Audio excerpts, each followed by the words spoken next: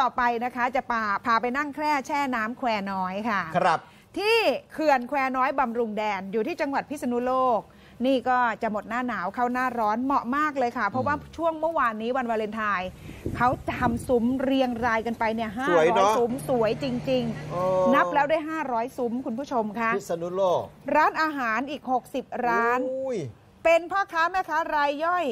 เอาอาหารเครื่องดื่มมาขายให้นักท่องเที่ยว ได้เล่นน้ำได้พักผ่อนในช่วงหน้าร้อนที่กำลังจะมาถึง แต่ก็ประเดิมเลยนะคะ ช่วงวาเลนไทน์นี้ลูกค้ามากันเยอะเลยนะคะอ่าถือเลิกษ์เลยค่ะแต่ที่นี่14เราไม่กุภเคยไปเลยเนอะยังยังเป็นเขื่อนนะคะเออเมืองลำพูแควน้อยบำรุงแดนไปได้นะคะ คุณผู้ชม นี่คือเข้าอยากไปอยู่นะ เข้าหลักเข้าเกณฑ์นะอืม เข้าหลักเข้าเกณฑ์ว่าเมืองรอง เมืองอะไรก็แล้วแต่เออหาจุดเด่นตัวเองขึ้นมา น่าสนใจตามน่าสนที่ท่านใจนายกสั่งการใช่ไหมคะ รายการคู่ข่าว on tour น่าต้องไปไปนะอันนี้จังหวัดอืมพิษณุโลกค่ะ ท่านผู้ว่าภูสิทธิ์สมจิตเนี่ยไปเป็นประธาน อ่าในการเปิดงานเลยนะคะ คุณผู้ชมคะแล้วเขาจะจัดยาวไปตลอดเมษายนก็คือสิ้นสุดไปนู่นค่ะ30 เมษายนเลยจริงๆ จัดต่อก็ได้นะคะ ถ้ายังมีน้ำนะเพราะว่าการแช่น้ำแต่หน้าแล้งมันจะไม่ค่อยมีน้ำเลยใช่คุณรัชนีประเด็นอยู่ตรงนั้นแหละนะเขาคะ อาจจะจัดเฉพาะช่วงเทศกาลสำคัญสำคัญหรือเปล่า ใช่ค่ะใช่ไหมนะคะล่ะก็จะได้สัมผัสความเย็นสบายของสายน้ำ แต่ผมว่าสงกรานต์เขาต้องเอาอีกทีอะอ่าใช่ไหมนี่เขาจัดยาวไปถึงสงกรานต์เลย ยาวสงกรานต์เหรอใช่ค่ะโอ้เนี่ยถ้าไม่คิดว่ามันเย็นมันหนาวก็ไปได้เลยค่ะครับ อ่าแช่น้ำไหวก็ไปได้เลย อืมแล้วซุ้มเนี่ยหลายตังค์นะ แต่ละซุ้มเนี่ยครับ แช่น้ำอยู่ได้กี่เดือนไม่รู้นะ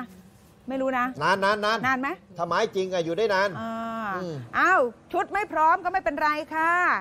ท่านผู้ว่าบอกว่าอยากจะสัมผัสความเย็นของน้ำโอ้ผู้ถลกว่ขากางเกงเลยผู้ค่ะ ว่าต้องใส่ชุดว่ายน้ำมาเลย ท่านมาเปิดงานไง อืม จริง ๆ ใส่กางเกงขาขาแบบเขาเรียกอะไรกางเกงขาย้อยๆกว้างๆก็ได้นะโอ้ท่านก็จะลำบากหน่อยเนาะเดินอาลงไปเย็นดี ครับเย็นๆลงไปอยากจะไปนั่งแคร่แล้วก็แช่น้ำแบบเนี้ยค่ะอืม นาน เป็นไงคะท่านผู้ว่าคะเล่าให้ฟังหน่อยค่ะ สถานที่แห่งนี้นะครับถือว่าเป็นสุดยอดของการท่องเที่ยวเลยนะครับ บรรยากาศ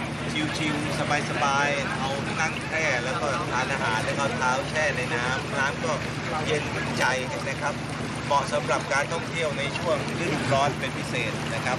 ก็ขอเชิญชวนพี่น้องประชาชนนะครับมา